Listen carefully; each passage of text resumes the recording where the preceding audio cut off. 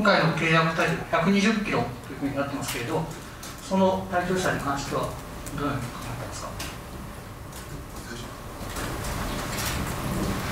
質問もう一回ください120キロ契約と決定していますがその体重の契約に関しては、えっと、大丈夫でしょうか？いやそれは違います。よ僕93キロしかないです。違います。違いますか？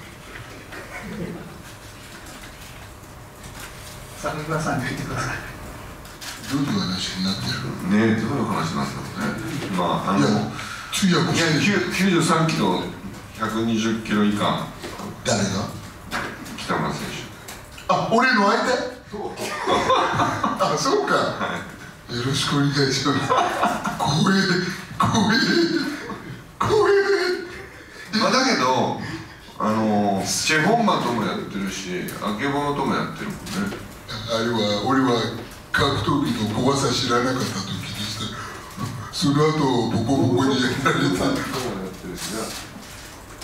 そうだな。えええおお名前は？えー、北村です。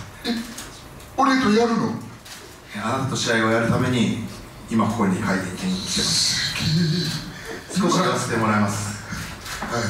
本当は、えー日本語も流暢で頭もいい、えー場を盛り上げようとしてこういうふうなキャラクターをやっています。けど彼は、えー修羅場の数も多いし僕は譲って油断しないです、えー、男気キャラで貫こうとしてますけど完全にタヌキですね。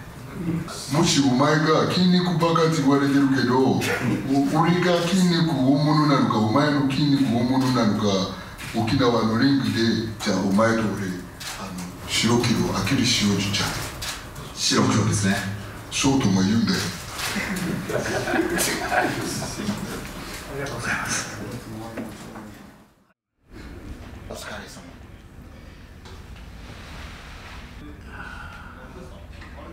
本当にやるってことをこれで100%になったっていうのを改めて感じて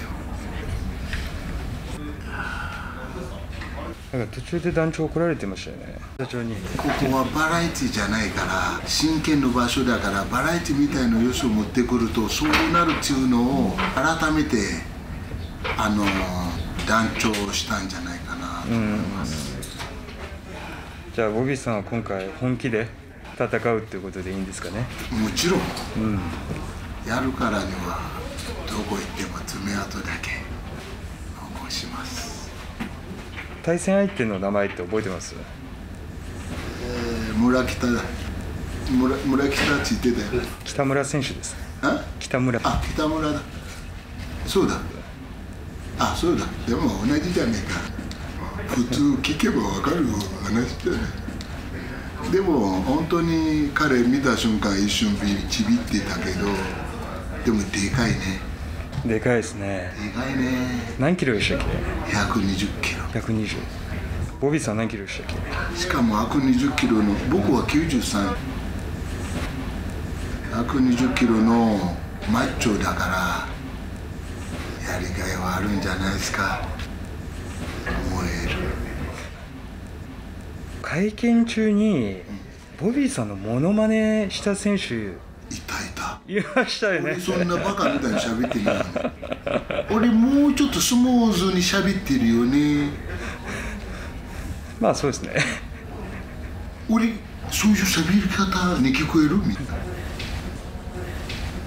まあでもボビーさんの方がスムーズですかねやっぱり。そうだよね。おいバカにしてんの。声変えようかなじゃあそれも手で高い声って意味んだよ俺。あのライジンって生配信されてたじゃないですか会見あされてた？んそうそう YouTube で。あそうなの？でコメントで「ボビー寝てんじゃねえか」と「ずっと下見てるぞ」と。っていうコメントが入ってて。緊張してたんだよ。寝てなかったと。寝てねえ。寝てねえよ何生配信だったのあれ。みたい。やだな。やだな。やだな。時代変わったな。怒られてるもう全部流れてる。ノ ーやだやだ。俺は本当にでもこれからはやることはもう真剣だから YouTube もしばらく休もうかなと思ってます。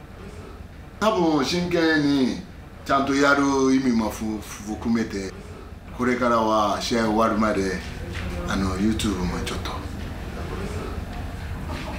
休んだ方がいいんじゃないかな、YouTube やってる場合じゃない。練習しか。っていうか練習しかできねえから、とりあえずこれで帰らせていただきます、はい。お本日誠にありがとうございました大人怒られたらこうなるんだな。も